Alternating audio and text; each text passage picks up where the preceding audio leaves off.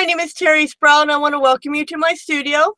Tonight is our live art show. Normally I do an art journal, but I have had so many requests on how did I paint my suitcase that I decided that's what I was going to do tonight. Obviously, I don't have a huge suitcase up here on my desk, but you'll see what I'm going to do. I'm using the same, uh, basically the same thing. So anyways, I do have Joe here to help out on any questions. So if you do have a question, just go ahead and do your best to put it in bold so we do, or caps, excuse me, so that we see it. I am going to switch cameras and we're going to get going.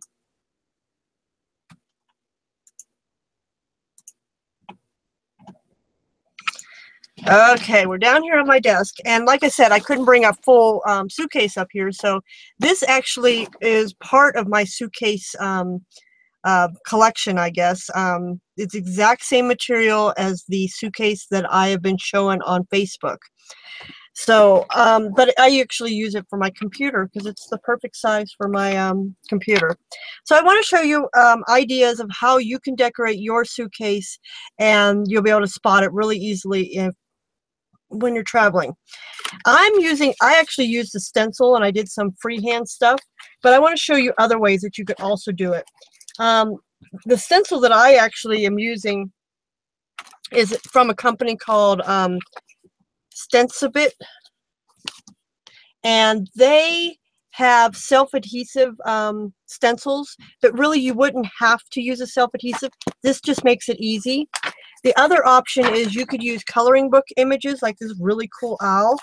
And I've showed you guys this before, the um, Saral's wax-free trans, um, transfer paper.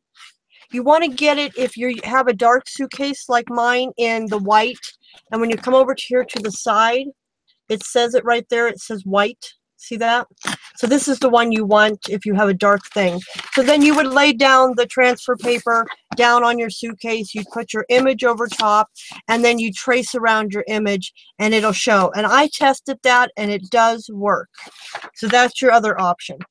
Um, but the option I'm going to show you is the easiest option and that is basically doing self-painting and using stencils.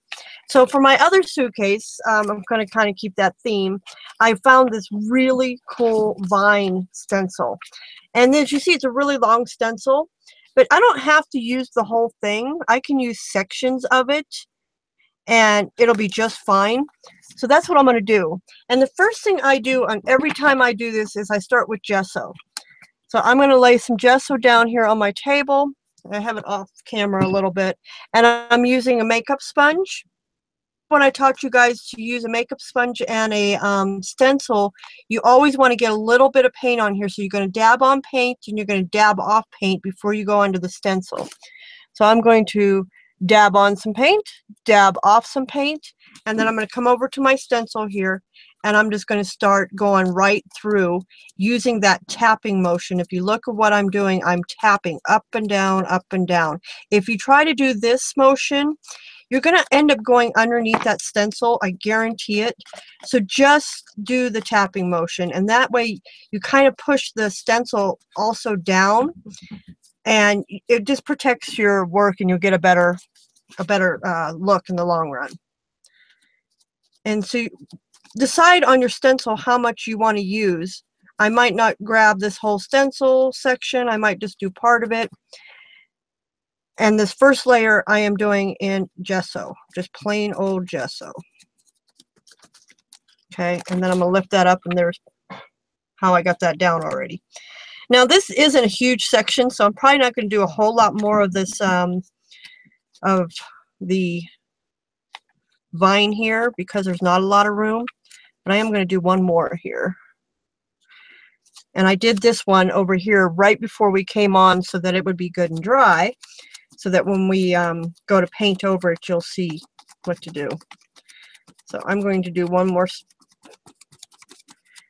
stencil right here in the white.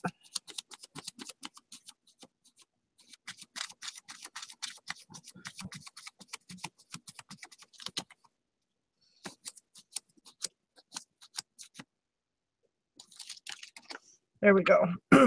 so I like that. Now, At this point, you can decide to either color, come in and color this freehand, or you could put the stencil back on and go through it again. When I did it before, I actually did freehand. And what I also wanted to do is I wanted to use a matte color first. So I do I do a lot of layering. So the first layer I'm going to do is a um, you know like a matte dark green here. And I just have it sitting there. I have a round brush and I'm just going to come in and start painting right over top of that gesso. And the reason you want to do the gesso first is if I tried to put this dark green on, you wouldn't be able to see it because the um, the fabric in the back is so dark that you just would not see the um, green that I'd be painting. So make sure you do not skip that simple step of using the gesso. It really does make a huge difference. And it's pretty warm here today, so things are going to dry real quick. I sure got a lot of paint on my hands. Oh well. Happy hands, right?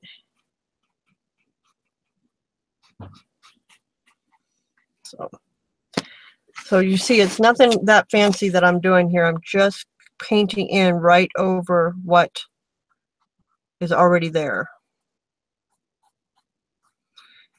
And I'm just putting on a nice dark color right now so that when I go back over later with other colors, it'll be more of a highlight. And I am using just plain old acrylic paint. And I've had people ask, aren't you afraid it's going to flake off? All that stuff. Really, it's not. It's absorbing into this material because this material has a little bit of a, I want to say texture for lack of a better word. So you're really not going to have that problem of it doing that. Now this should be dry enough, I'm hoping, over here to paint. If not, we're just going to get a little lighter green because it's going to mix, mix in with that gesso just a little bit. But I do like to keep, make sure it's dry in between each layer before I add this next layer on. So as I always say, do as I say, not as I do. I did this over my other, my big suitcase over like three or four days before I finished it. But also I was doing it all the way around so that every um, side has, um, you know, painting on it. So you couldn't really do one side when the other side was still wet because you had to let it dry. Couldn't really lay it down. So. Okay. Now I also at this point want to come in and use the gesso to also paint my flowers out. So I'm cleaning out my paintbrush here.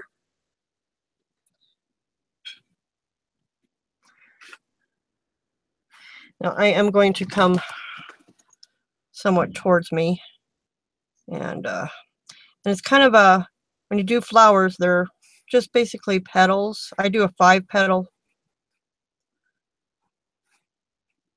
flower.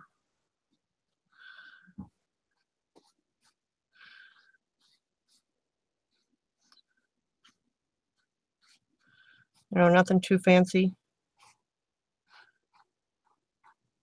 Kind of just a flower with a point or a petal with a point on each end.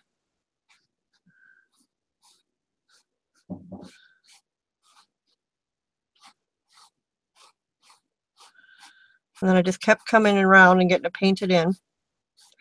And I didn't worry about it being painted in perfectly because I can't, you know, this is just the bottom layer of my flower. Like I said, there'll be lots more paint color on top of this.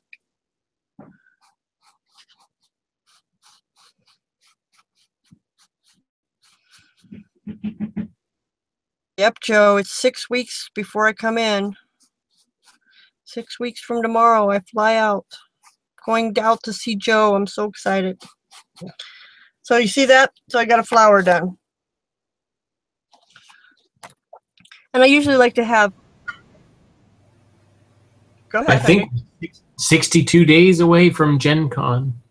62 days from Gen Con. I'm so excited. God help us. We're going to rock it. Gen Con, we're all going to Gen Con. That's in, um, was that Michigan? Indianapolis. Indianapolis. I knew it was one of those states. Um, and first weekend in August. I don't know if you any of you guys are gamers. But you see how that flower is turning out? I'm actually probably not going to put another one. Uh, another flower. Eh. I'm gonna leave it like that. I like that. Now I've already got this layers pretty much dry. So at this point, I usually like to come in with a lighter color. So I'm going to use Golden's um, Green Gold, which is absolutely one of my favorite colors. I love this color. It's kind of a, it's a green gold. and I'm not going to worry about the gesso on my brush. And then here you can just start doing like shadows and um, highlights. So you don't need to paint the whole leaf at this point. You're just kind of putting highlights on the leaf at this point. So I'm only doing just a little touch of it. See that? See how I'm not getting the whole leaf? I'm still allowing that dark green that I put on originally to show through and be important. But I am getting this like highlights going. Because this is going to give the flowers more, or the leaves more depth by having this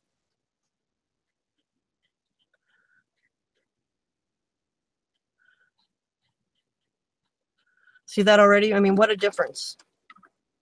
See that? Amazing difference just putting that second color in there. So again, doing that same thing over here.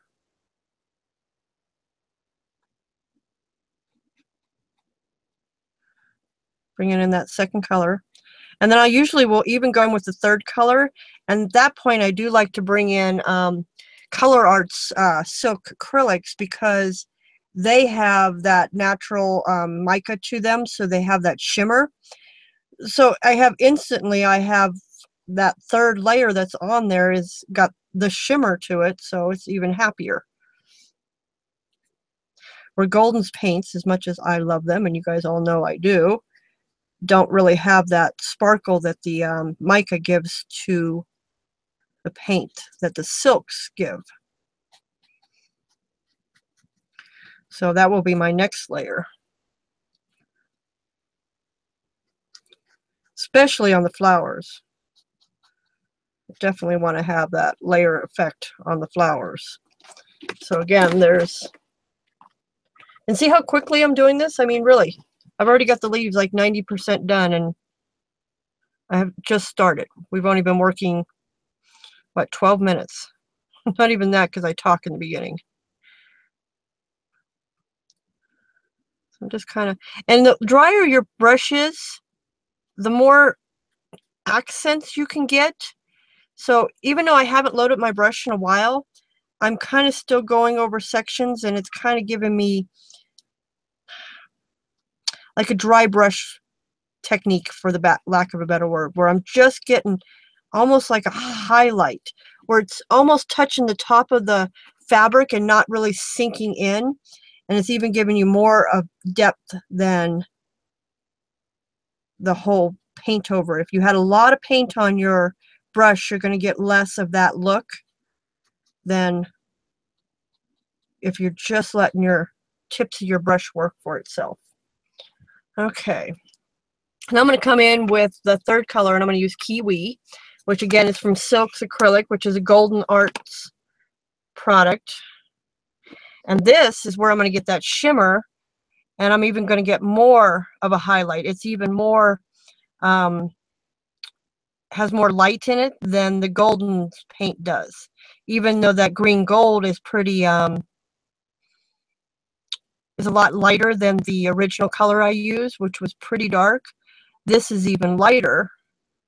So it's even going to give me more highlight than what I had already achieved. And I'm sure you can already see that in the painting. See that? Where it's already given us more of a highlight.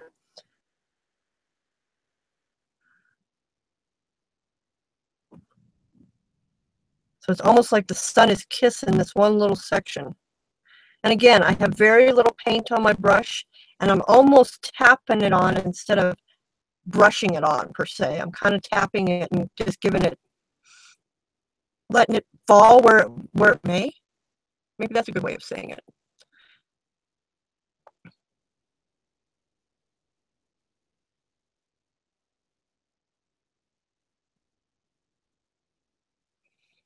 I'm going to go in and grab just a tiny bit more paint. And when I'm putting paint on with my brush, I'm putting barely on any on in the first place. So I'm just kind of tapping it in the, in the paint container as much as I'm tapping it on to my painting. See that? I want you to really see that. See the highlights I'm getting in that? Now, and this exact same technique that we're doing can be done to paint anything, a canvas. I just happen to be showing you on a suitcase. See how I'm tapping?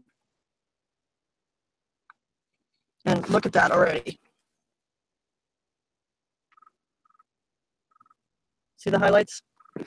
Amazing.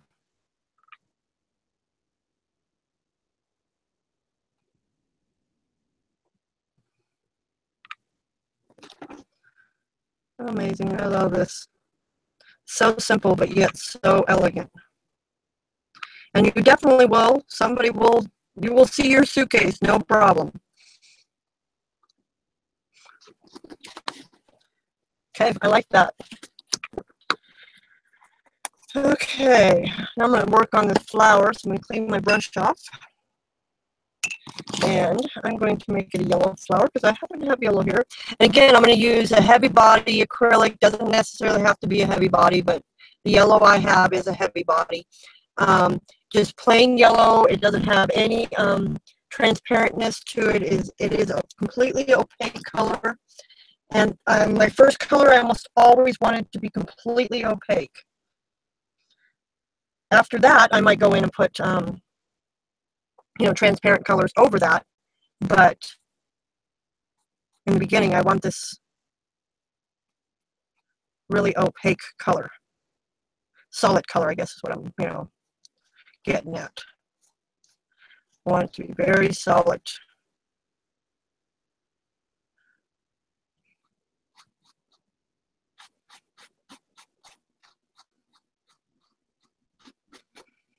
I'm kind of just doing that same thing, you know, same motion.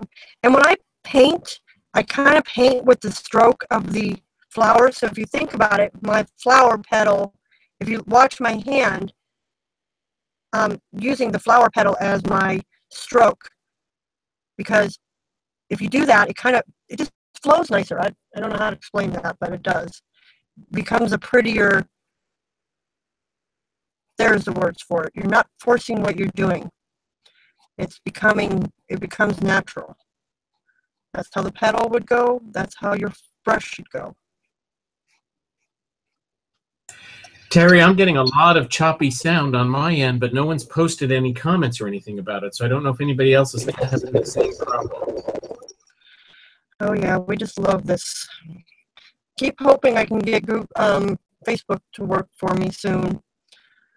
Um, let us know if you're having any problems because we can always end this pretty quickly here. You guys are getting the idea.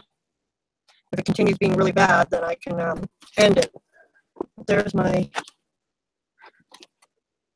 a lot of, a lot of highlights on that. A little too too bright. Again, then I would go over it with, I'm going to use silks.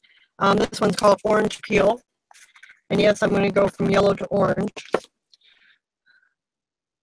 And I'm not going to use the orange everywhere.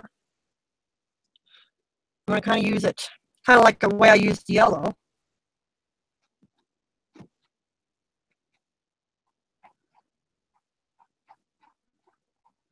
Probably should let it dry just a little more, but see that? Again, not using a lot of paint letting it soak into that um, fabric.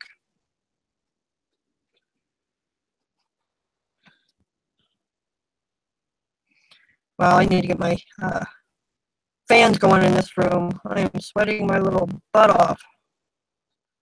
So again, is anybody having any um, problems? We've got a few viewers in the room.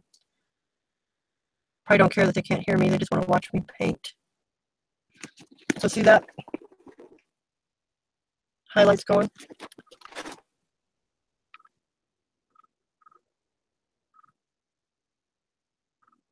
And then I would just keep going with that layering over and over until I was happy with it.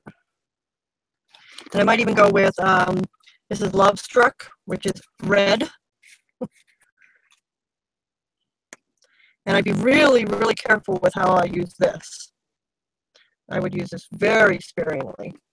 Like I would just mainly maybe just touch the edges here. And maybe even use my finger and bring it in because it's really, really intense.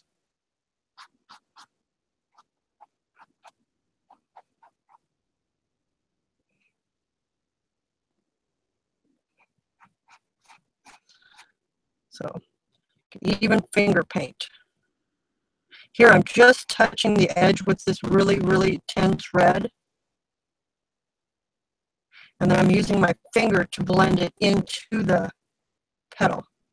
So it's almost giving it like a shadow because it's so dark. It's becoming a shadow.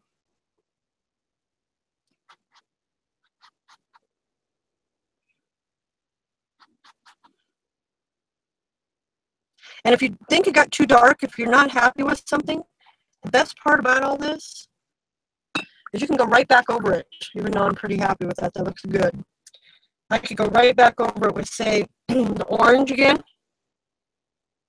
and tone it down a little.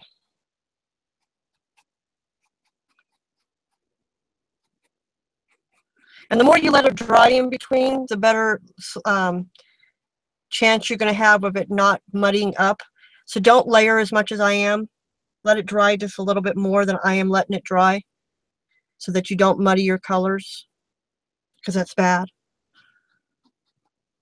But and again, if you think it's too much, you can always come back in with that yellow and kind of blend it out a little bit.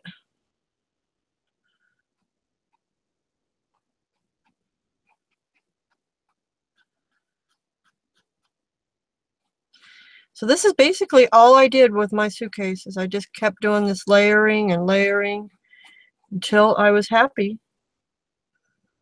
Or till I decided I should just stop because I like to layer. It's fun. I could keep going doing this forever.